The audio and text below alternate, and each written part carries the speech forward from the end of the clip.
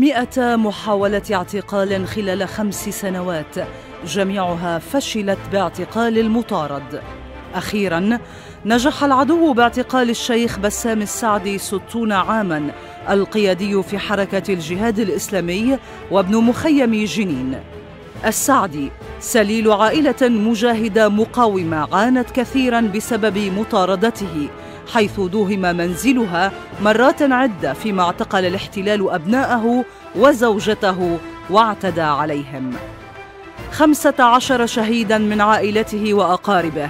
بينهم والدته التي استشهدت خلال اقتحام الاحتلال لمنزلهم وإطلاق قنابل الغاز داخله في الحادي والعشرين من حزيران العام 2002 كما استشهد نجله عبد الكريم في الأول من أيلول من ذات العام خلال الدفاع عن مخيم جنين. وبعد أربعين يوما لحقه شقيقه إبراهيم الذي استشهد برصاص قناص صهيوني. أمضى الشيخ السعدي نحو 12 عاما في سجون الاحتلال وكان أحد القيادات التي تم إبعادها إلى مرج الزهور في لبنان مطلع تسعينيات القرن الماضي. الشيخ السعدي رفض الاعتقال ورفض تسليم نفسه طواعية. الحرية للشيخ الأسير الحرية للأسرى.